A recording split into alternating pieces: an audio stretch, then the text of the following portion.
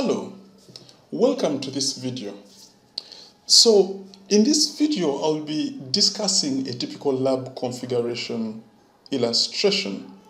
And uh, I'll be using this network for quite a number of concepts. I'll use it for um, ACLs and for network address translation for different deployments. And as you can see, uh, we have one router in this network uh, right here and it connects to a switch in our private network, in our internal network, and our internal network has two subnets in it. It has the sales department on VLAN 10, a 192.168.10.0 network, and it has VLAN 20, which is the finance department on 192.168.20.0 network.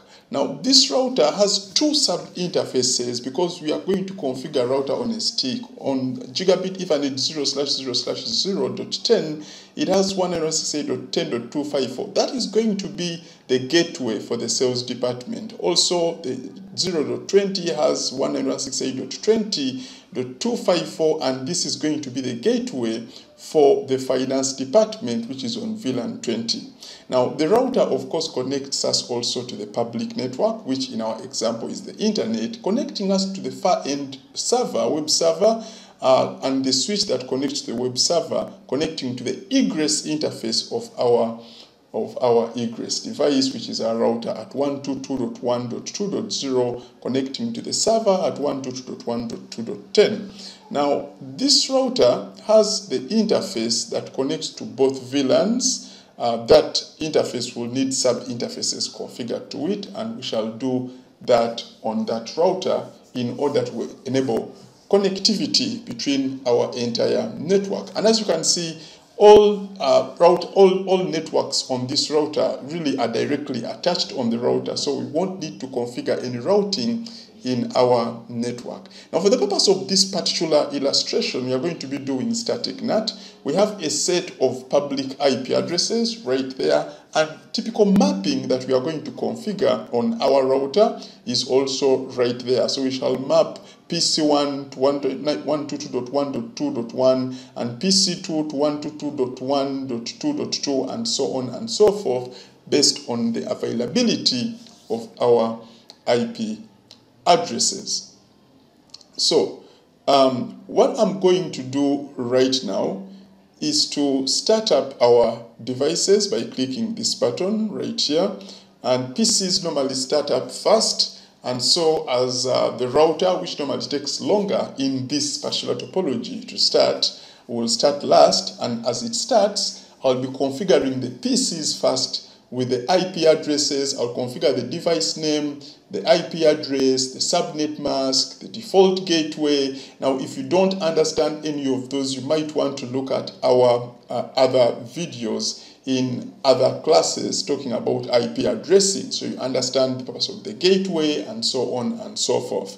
So I'll be configuring all IP addresses first and after configuring all IP addresses, we shall get to the router and start configuring the router.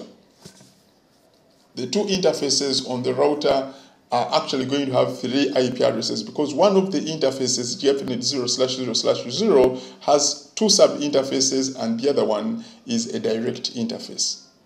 So the devices are finished starting. As you can see, the indicators are all green, meaning that uh, layer 1 is up already and layer 2 is ready to be configured.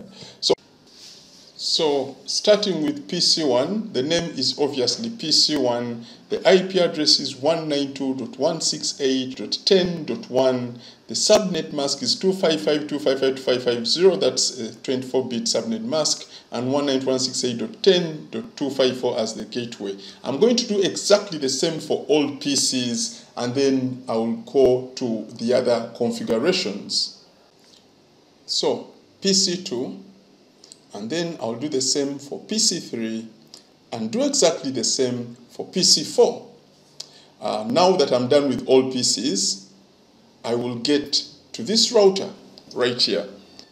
So now for this router, the first thing I want to do is to change its name to router. I do that from the system view, then go to the very first interface of this uh, sub interface on this router, give it the IP address shown on the topology, and then go ahead and do one q termination on this. Oh, sorry, that's a double A right there. Let me remove one of the A's. Uh, one q termination VID 10, and then I'll do arp broadcast enable on this interface because it's a sub interface. And then I'll go to the second interface, 0.20 20 and give it the IP address shown on the topology 20.254, dot1q termination in VLAN ID 20, and do also arp broadcast enable for this interface also.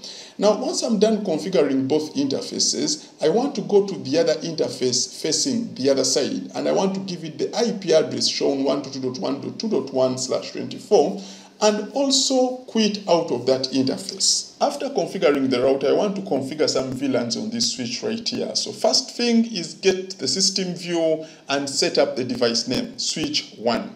After that, I'm going to go to VLAN batch 1020 to create both VLANs and then go to, I want to do best practice, give these VLANs names. VLAN 10 is sales department and VLAN uh, 20 is uh, finance department.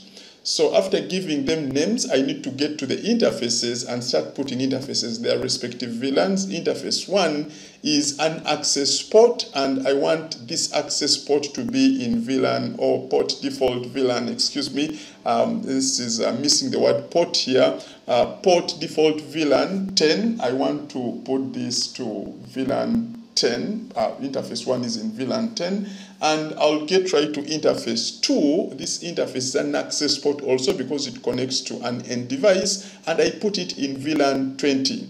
Now, uh, sorry, it's supposed to be in VLAN 20, it's supposed to be in VLAN 10, 1 and 2 are in VLAN 10. I'll go to 3, make it an access port, and after making it, uh, sorry, excuse me, after making it an access port, I'll put it in VLAN 20. I'll do exactly the same thing for interface 4, make it an access port, put it in VLAN 20, and that's done. Now, this interface on the router, interface 10 that connects, uh, interface on the switch that connects to the router, you can see all my VLANs are okay for 1 to 4. Interface 10 connects to the router upstream. This interface needs to be a trunk port because we are doing router on a stick, and this trunk port needs to permit both VLAN 10 and 20. Well, I think that's it for the switch configuration. Great, everything seems to be working fine. So let me get out of this switch and test some connectivity. I'm going to ping PC2 right here. I have replies. Let me also ping PC4 from another VLAN and see. Um, hmm, I have replies. Connectivity seems to be working fine. Everything looks good so far. All right, so now let me configure this server right here, give it its IP address, and give it uh, a subnet mask and also gateway, which is the interface of the, of the router. Uh, let me try to ping the interface of the router from here. Uh, if I try to ping, you realize packets will not go through. Let me send five packets. Ah, all of them failed just because I didn't save. Let me first save and then try to ping again. And as you can see, this is successful. That's great. Now when I try to test connectivity from PC1 to the server, I should get replies. Yeah, great, that is uh, good, I get replies. So now I'm going to configure NAT on this uh, router. I'll get to system view first. Let us check the routing table. We can see all the routes are there. They are all directly connected routes, so I don't need to configure any routing. Every network is reachable in this case. All I need to do is get into the outbound interface that connects to the internet and configure NAT for that interface. So I do NAT static global and specify the public IP and also bind that public IP to that private IP right there. So I'll bind it to the private IP. I'll bind 122.1.2.1 uh, and the inside is 191.68. Oh, uh, excuse me, that's a slash right there. I don't need it.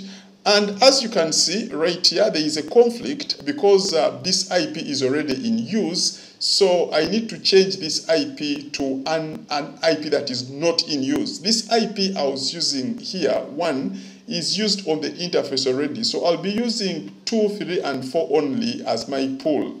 Uh, so I will do, uh, uh, ones I'll map uh, to the to the IP addresses, the other side. So I'll do dot 3 and map it to 10.2 and I'll do the global dot 4, 122.1.2.4 and map it to the inside 192.168.20.3. So as you can see, one of the internal IPs did not get, uh, let me just confirm that.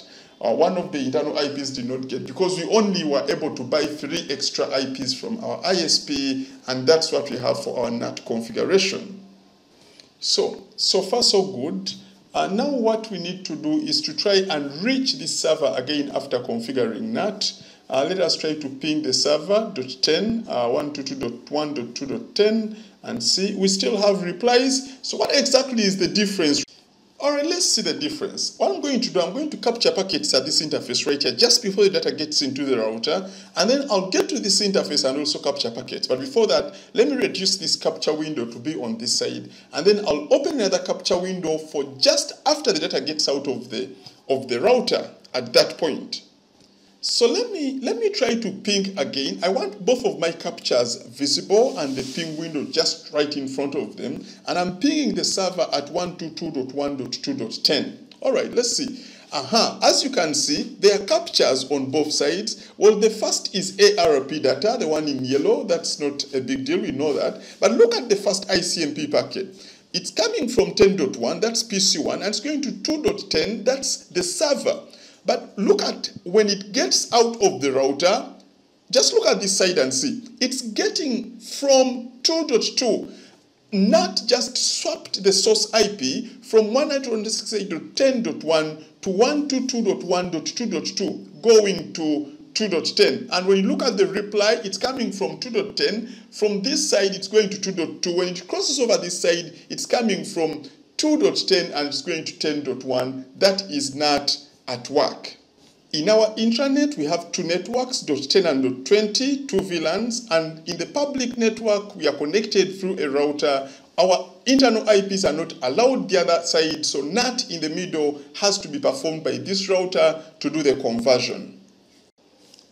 And that, ladies and gentlemen, is implementation of NAT, the particular implementation we call static NAT. But that's not it.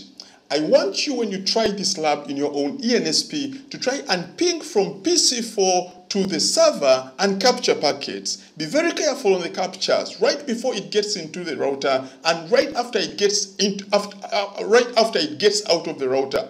Do the captures and in the comments of this video, tell me what you saw. What's the difference from the captures of one, two, three PCs compared to that when you capture PC4? Remember, PC4 did not get a public IP mapped into it. I hope this has been informative for you. Thank you for viewing.